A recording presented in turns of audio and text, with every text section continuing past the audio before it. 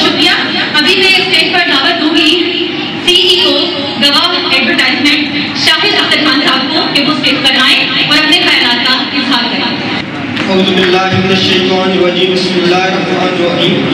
सबसे पहले आप तमाम नाजरीन को मैं दिल की यथा गिराइयों से मुबारकबाद पेश करता हूँ। एक आज़ाद मुल्क, एक आज़ाद रियासत में आज पचहत्तवा योम आज़ादी मनाने का जिस तरह यहाँ पे ज़िला हरीपुर में मुख्तलिफ़ प्रोग्राम ऑर्गेनाइज किए गए, उसमें ज़िली इंतज़ामिया, जनाब डिप्टी कमिश्नर साहब खान साहब का, यहाँ पे एडीसी साहब का, यहाँ पे पुलिस इंतजामिया साहब का मुजीबरमान साहब एस पी इन्वेस्टिगेशन है उनका, और उससे बड़ी यहाँ पे मीडिया का, जितने भी इलेक्ट्रॉनिक्स और प्रिंट मीडिया है, उन तमाम का मैं शुक्रिया अदा करता हूँ उन्होंने इसको कवरेज की भरपूर तरीके से कवरेज दी, और इस चीज़ को हाईलाइट किया।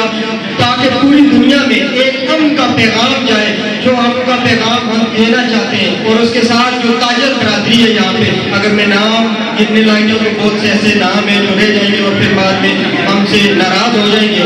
तो तमाम ताजर बरादरी का दिल की अथा गहराइयों से शुक्रिया अदा करता हूँ कि आज अलहमदुल्ला हरिपुर में भी चैम्बर ऑफ़ कांग्रेस ज़िंदा है, न सिर्फ़ ज़िंदा है, बल्कि हर नेशनल डे पे चैम्बर ऑफ़ कांग्रेस के यहाँ पे इवेंट होते हैं।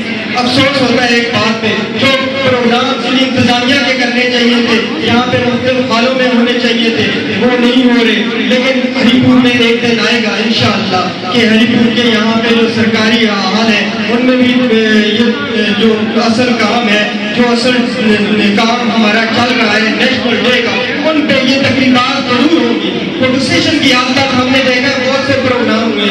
आज काफ़ी टाइम से मैं भी यहाँ पे ऑर्गेनाइज कर रहा हूँ? और डिप्टी कमिश्नर साहब के नोटिस में ये लाना चाहूँगा कि ज़िले इंतजामिया ने कभी भी यहाँ पे किसी प्राइवेट कंपनी का साथ नहीं दिया। जब भी नेशनल डे होता है तो इसको इग्नोर किया जाता है। सिर्फ़ प्रोडक्शन की हद तक सियासतदानों को आगे प्रमोट किया जाता है। तो खुल के बात करते हैं, इसलिए कि हमारे साथ होता है। आज हमारे साथ एडीसी साहब भी मौजूद हैं, क्योंकि इन्होंने इनको मालूम भी है, यहाँ पे हम मुख्त प्रोग्राम करना चाह रहे थे। लेकिन से सियासत की नज़र किया गया। उससे सबसे बड़ा नुकसान जिसको हो रहा है वो हमारे जिला हरिपुर को हो रहा है। जो हमारा मैसेज जा रहा है, वो नेगेटिव मैसेज जा रहा है।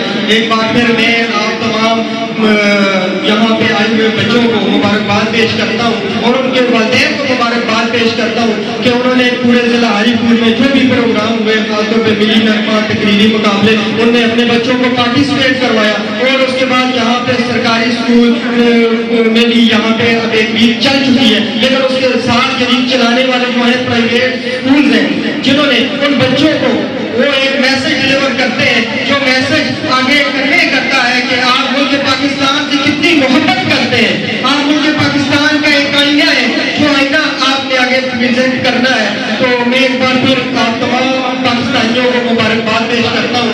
और जिस तरह आप यहाँ पे किस्म के प्रोग्राम किए, आपने और खासतौर पर जिला हरीपुर के की आवाम का भी मैं शुक्रिया अदा करता हूँ जो उन्होंने किया। और उसके बाद एक बार फिर आपसे माजरत किया, आपने काफ़ी इंतज़ार यहाँ पे करना पड़ा क्योंकि बहुत ज़्यादा प्रोग्राम थे, जिस वजह से थोड़ा सा प्रोग्राम हमारा डिले हुआ। उससे हम माजरत करते हैं आपसे, एक बार फिर आपका शुक्रिया। अल्लाह